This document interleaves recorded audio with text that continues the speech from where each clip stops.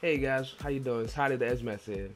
So recently I posted on the forums um about uh the sword dagger Condi thief build that's going around in PvP. And I, I knew this was gonna happen, but I did it anyway just to get the message out.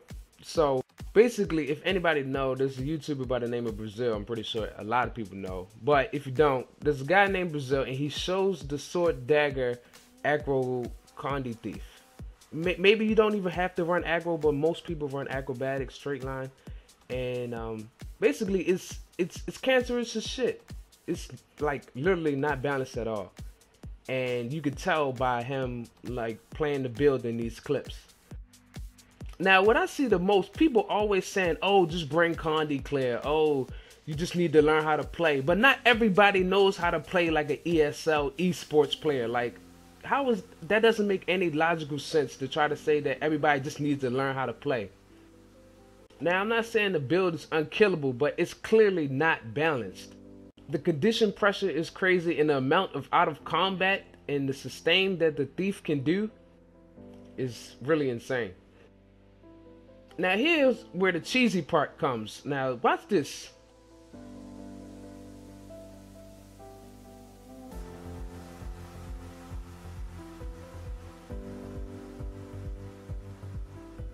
He poured it through the wall at least three times in this one fight. Now imagine, this is in PvP. Now imagine a player being able to do this in World versus World. Just constantly pour through the wall, constantly teleport out of combat. It's just crazy.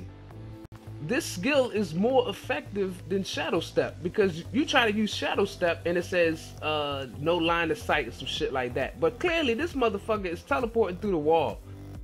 Where the fuck is the no line of sight on that shit?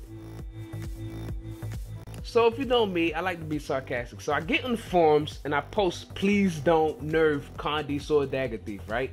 And I'm not talking trash about nobody. Basically what it says is, hey, don't nerf this build.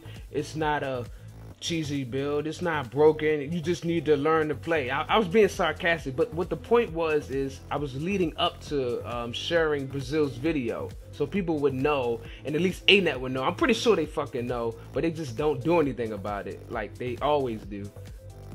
But I wasn't talking trash about nobody. I wasn't attacking anybody. I was just like, hey, don't nerf this build. It's a learn to play problem.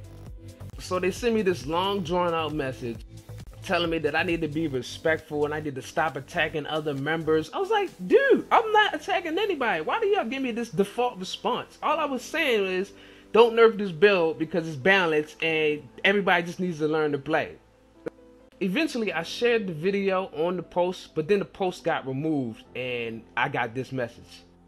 You can dislike this video, I don't give a fuck, but all I was trying to do is somehow make it visible for the developers to know that this shit is broken and you need to fix it before the uh, expansion comes out or do something because this is why mainly the reason that uh, they got taken out of esports because they couldn't balance their game effectively.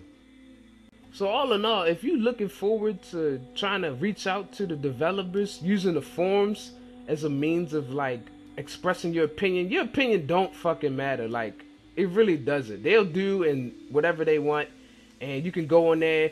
You can even go on there and be nice, and they will still infraction your post. So it, there's no real like reason to go on there other than just looking at what people have to say, I guess. Because every time I post something, even if it's not negative, I could just be like, "Hey guys, how you doing?"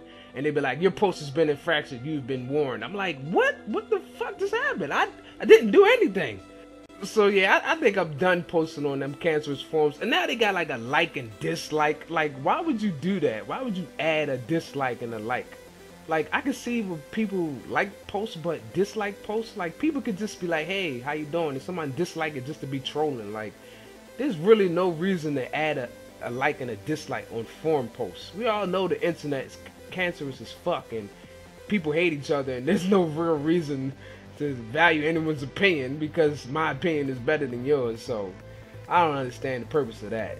But yeah, I, I think I'm done. So hopefully you watch this video. Hopefully this gave you some insight and I'll see y'all later.